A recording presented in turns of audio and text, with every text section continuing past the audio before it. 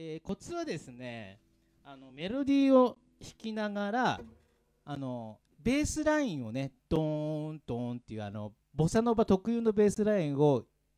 ずっとやりながらメロディーを弾くっていうのがコツ。それでは、えーガールフロームイパネマ行ってみたいと思います。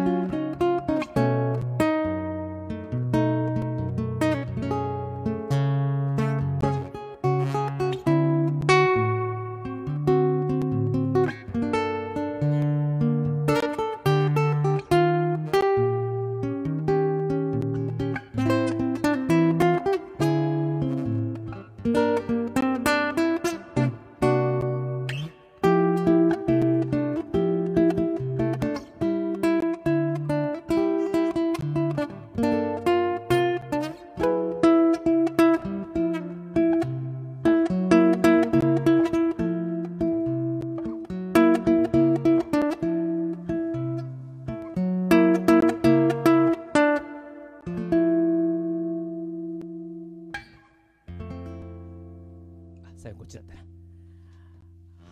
はいありがとうございます。ガイルフロームイパネマねこれねこういうなんつうの？こういうね二部音符でこういくあのベースラインの上にメロディーを乗っけるこれで結構実はねメロディーと一緒にやるっていうのは割と難しいんですよ練習しないと。ね。なので、えーまあ、実際バッキングはねこういうなんかあの